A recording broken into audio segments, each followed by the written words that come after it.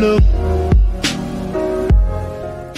What do you hear? What do you say? It's another Roblox day, and I'm here in the legendary world of Dungeon Quest. And as you can see, I'm about to do my first boss raid, tier 12, which is pretty sick. This update happened to come out while I was on vacation in New Orleans. Happy birthday to me, by the way. And I'm super excited because I want some tier 12 gear so bad right now. Anyway, the new boss is sick. I have done a tier 11 just about five minutes ago, so I did see one of the new bosses and it didn't really seem much harder to tell you the truth. But that's not really what I am excited about. What I'm excited about is also the other sneak peek update that was also that also was released over the weekend, which shows this a dragon. Now, I'm not the type of person that is going to brag or anything, but guess what?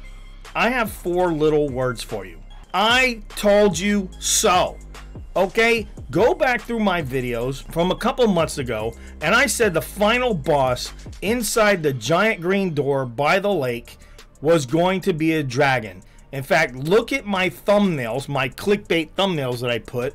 The dragon almost even looks like the dragon that's being designed. Now, this picture comes from Benny Caffey himself, and it says coming soonish. And there's a huge dragon. Looks like he's doing this either in Builder. It looks like he's uh, building this right now.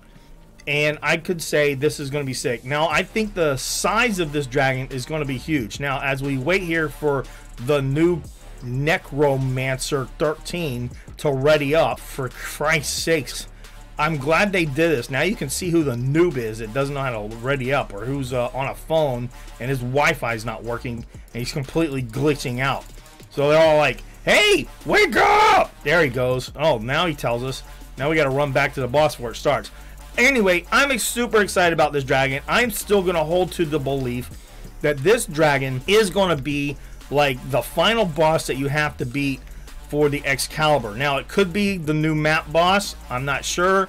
It makes a lot of sense if it was the new map boss, but I would like to see this as an expedition or a mission that you have to do for the Excalibur. I'm hoping that it's going to be in the same place that I originally. Whoa! What happened to me? I just got sucked in. Did you see that?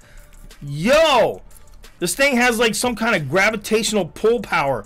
Kind of like ah, kind of like the Death Star. I just got pulled in again. I'm still alive, but I don't understand how I'm, how I'm getting. Oh, if you run on the purple things, it sucks you in, and then he smacks you.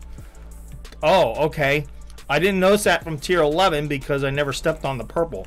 So uh, that is a really cool function of this boss is that he literally can suck you in and then smack you in the face really quick. Back to what I was saying before I freaked out there is um, I'm hoping this is an Excalibur. Oh, there it is. That's, oh my god, it's that purple thing. Whoa. I'm never going to finish my conversation here about the Excalibur because I keep hitting that little disco ball.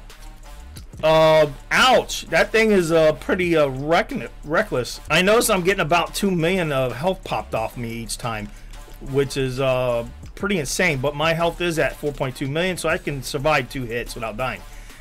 So I'm hoping this dragon is going to be... Ah! Uh, every time I try and talk, I, I get sucked in. Oof! Oh my goodness. I just oofed so hard just now. Oh, whoa! What is with this thing? Okay, this this boss is no joke. Again, I'm hoping the dragon isn't Excalibur challenge. Whoa, there he is. Okay, I avoided it that time. And that's the final boss we'll kill to get the Excalibur. Now, how we actually receive the Excalibur, I still am quite confused. I'm not sure if this is going to be an inventory upgrade, a cosmetic, or what. But that is my take, and I just got a spell that I've had a hundred times already. That is my intake on what this update's all about. I can't wait to see this dragon. I hope he's green. I hope he breathes fire. And I hope he kills a lot of people because that's going to be super fun. So thank you for watching this video. That was my first tier 12 run. I'm going to be doing a lot more in the future. And make sure you subscribe, leave a like, and turn on that notification bell as I am live every day. And remember, people, stay lucky.